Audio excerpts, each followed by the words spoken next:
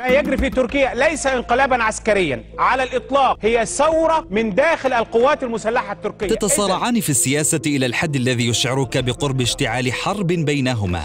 كونوا مستعدين لتنفيذ أي مهمة هنا في داخل حدودنا أو إذا تطلب الأمر خارج حدودنا. وتتشابكان في الاقتصاد إلى الحد الذي يشعرك بأن التحالف بينهما أمر لا مفر منه. وبينما كان البلدان في 2019 على مسافة شهور قليلة من إعلان مواجهة كبيرة في ليبيا. تأتي بيانات معهد الإحصاء التركي لتؤكد الفرضية. الصادرات إلى مصر تصل إلى ثلاثة مليارات وثلاثمائة مليون دولار عام 2019 بمعدل زيادة يقترب من الثلث عن العام الذي سبقه. إذا الخلاف الذي نسمع عنه حاضرا والمصالح التي لا نسمع عنها موجودة وبقوة. وهكذا تبدأ حكاية العشق الممنوع بين تركيا ومصر. الخلافات على أشدها. بدأت منذ الانقلاب العسكري في مصر عام 2013 تعمقت في مناسبات وأحداث سياسية وعسكرية إقليمية. لكن كان أبرزها ثلاث صدامات سياسية وعسكرية وشخصية.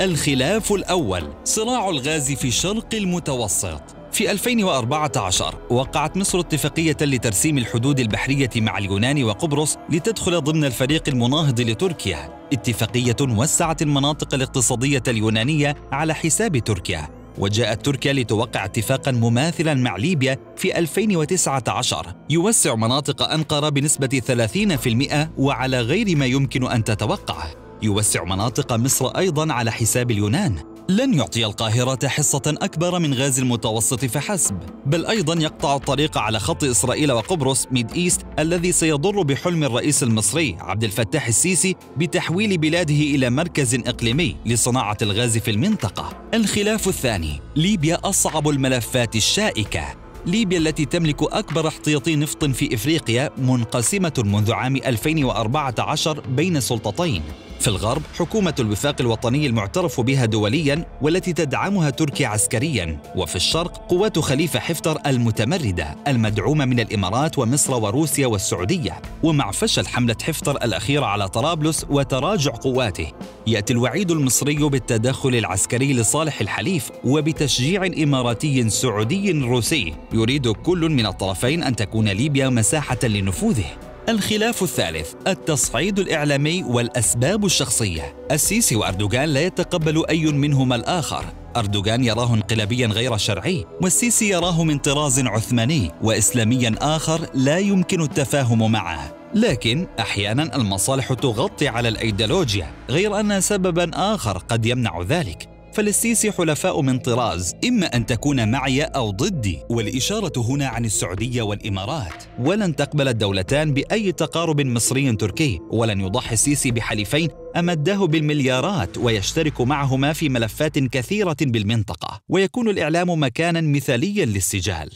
وهل تعترف شبكات المصالح المشتركة بهذه الخلافات السياسية؟ بالطبع لا، بدليل أن أسهم التبادل التجاري بين البلدين في صعود مستمر، ومن المتوقع أن يستمر الصعود مع تجديد اتفاقية التجارة الحرة نهاية 2020 وهي الاتفاقية التي تحكم التبادل التجاري بينهما منذ عام 1976 ليس من مصلحة تركيا إلغاء الاتفاقية في ظل الأوضاع الاقتصادية الراهنة ولا من مصلحة مصر التي تمتلك برنامج إصلاح اقتصادي وتسعى لزيادة الاستثمارات مع أي دولة حتى لو كانت تركيا وما هو منطق المواجهة المحتملة؟ عمل بحسم بحسب مع الدول التي تقوم بدعم ورعاية الإرهاب.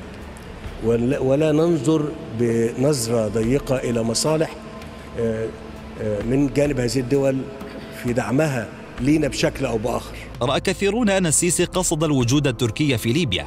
لكن مسؤولين أتراكا يرون أن تهديدات مصر ليست أكثر من محاولة للضغط على حكومة الوفاق لقبول هدنة. الدولتان لديهما قدرات عسكرية متقاربة إلى حد كبير. فرص نشوب حرب مفتوحة ضئيلة. وهناك توقعات بأن تقربهما المصالح المشتركة في شرق المتوسط. القاهرة وأنقرة بحاجة إلى تطبيع العلاقات الدبلوماسية أولاً، وهذا أمر غير متوقع في الأمد القريب مع بقاء حالة الحرب الباردة بين تركيا وقطر من جهة والسعودية والإمارات ومصر من جهة أخرى. لكن المواجهة قد تشعل أزمة لاجئين جديدة في أوروبا وقد تسهم في تعطيل التجارة في المتوسط وقد تسفر عن عودة داعش إلى ليبيا. لا أحد يسعى إلى هذه المواجهة كما أن الشركاء والجيران لن يسمحوا بها.